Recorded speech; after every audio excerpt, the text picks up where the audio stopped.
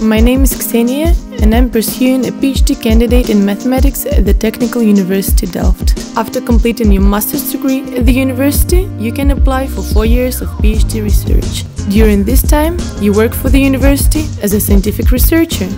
My research focuses on new techniques within the field of medicine.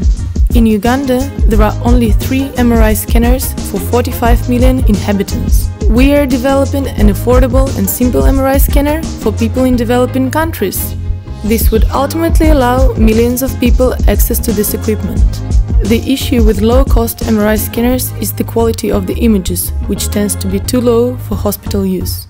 Therefore, I'm working on a mathematical technique to significantly enhance image quality.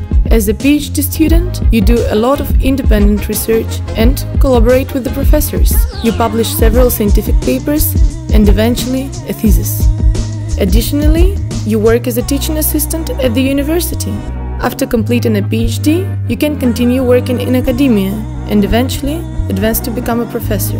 Alternatively, you can choose to work for a company Mathematicians are needed in various fields. Whatever path you choose, you can always apply your knowledge to help people, not just in medicine, but also in many other areas.